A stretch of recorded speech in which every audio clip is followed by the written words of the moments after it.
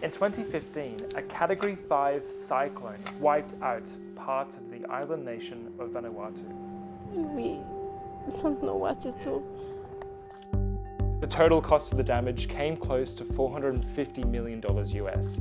That's more than 60% of the country's GDP. The old houses has been taken away. It was very much devastating. Even some people up until now, they still recover. After the disaster came a response we're all familiar with. A burst of international media attention, millions in aid from governments and NGOs, and then a long rebuilding process, with the majority of costs covered by Vanuatu's government. But Vanuatu wanted more. It wanted rich, carbon-emitting nations to be held accountable for what it saw as a catastrophe fueled by climate change. Vanuatu contribute to 0.0001% of the global emission. So we contribute less, but we are on the front line. For decades, this small country has played a big role in advocating that aid for climate disasters shouldn't be voluntary. It should be an obligation for the countries doing the most harm to the climate. The idea is called loss and damage. Loss, loss and, damage. damage. Loss and damage. Loss and damage. It was pivotal to climate talks last year, and it could soon be brought to the world's highest court. Loss and damage is damage from climate change impacts like floods and wildfires and storms. We weren't reducing emissions as fast as we needed to. Now we need to figure out how we pay for that damage that we can't avoid anymore. So how did Vanuatu find itself at the center of the loss and damage debate? And how can it change the future of climate funding?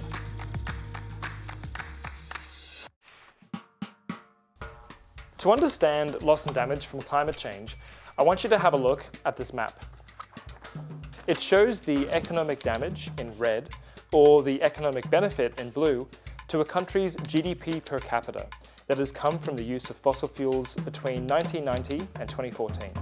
Notice a pattern? The red countries are all in the global south, especially around the tropics. Meanwhile, the blue countries, they're all in the global north.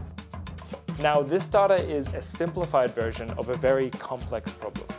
For one, it's based entirely on GDP, so it's not exactly saying that climate change is a good thing for these blue countries. But the pattern is clear.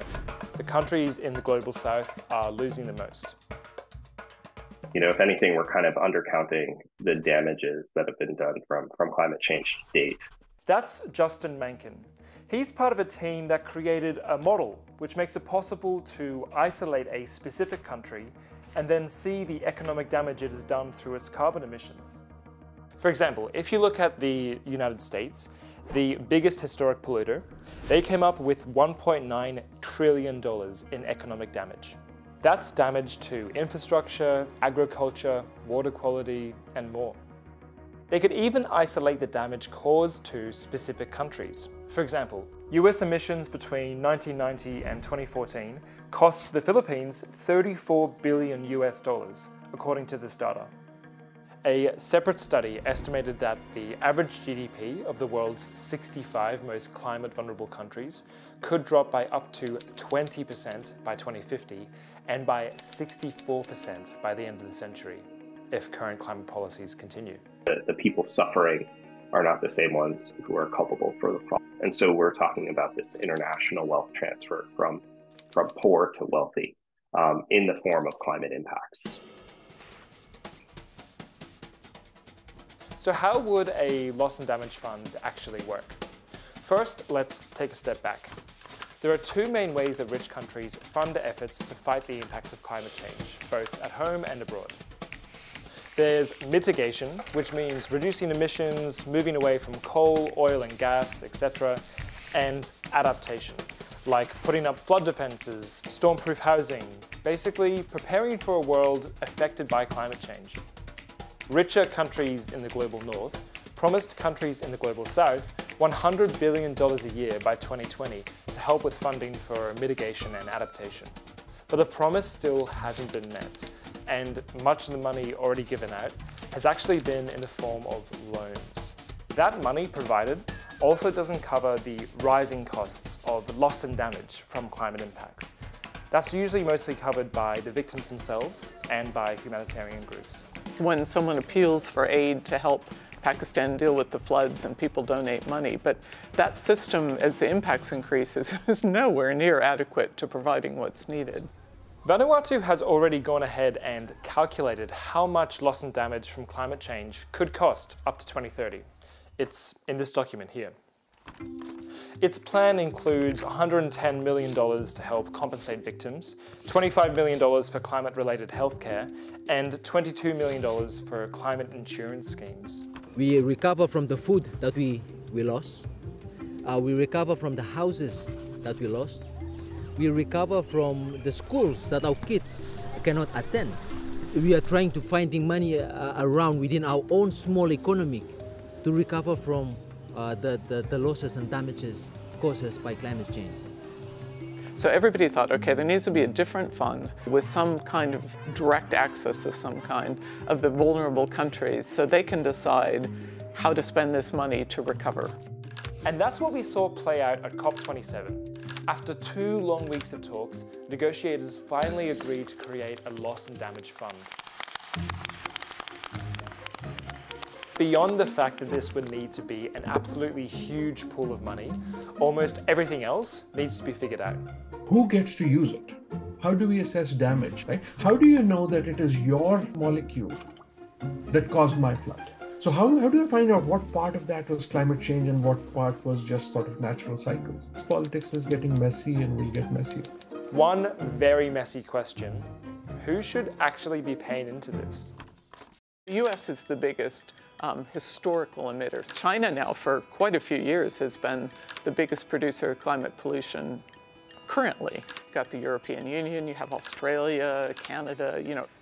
Rich countries really don't want to be held liable for this. And you understand why, because there's, there's almost no limit to what they might be held liable for if we don't deal with climate change. Some think we're better off taxing companies instead of countries. One study found 71% of greenhouse gas emissions since 1988 were linked to just 100 fossil fuel companies. And some of those companies made huge profits last year. What if it was not countries that were paying into it, but polluting activities? By raising money from bad actions so that we raise the cost of doing bad things and we use that money to be able to do good things for those who are being treated unfairly by climate change. So, you've got a list of people who should pay, but how do you actually make them pay? Back in Vanuatu, they're hoping to turn to the world's highest court, the International Court of Justice, to try to get some clarity on this issue. They've put together a resolution asking the International Court of Justice to say what responsibilities states have, polluting states, to protect future generations, the future of the environment and the planet. That's a really interesting question. It doesn't have full legal authority to enforce something, but they could issue a really influential opinion about that that could influence lawsuits all over the world. For Vanuatu, sea levels have risen here by 6 millimeters a year since the 90s. That's twice the global average. Some villages along the coast have been given a 24-month deadline to move to higher ground. And with that loss of land comes a loss of biodiversity and cultural heritage. When you talk about the damages, damages is something that you can repair. But the losses, you can, you can lose, but you cannot repair again. When you lose a life, you, you lose a life, you cannot re recover, even repair it. What, what vulnerable countries want is not to be out with a begging bowl every time something happens, relying on charity. What they would like is a system where those who cause the problem pay to deal with the problem. I feel always hopeful for the future of uh, Vanuatu. We are a resilient country. Even though we are going through disasters, I believe that uh, changes will always come.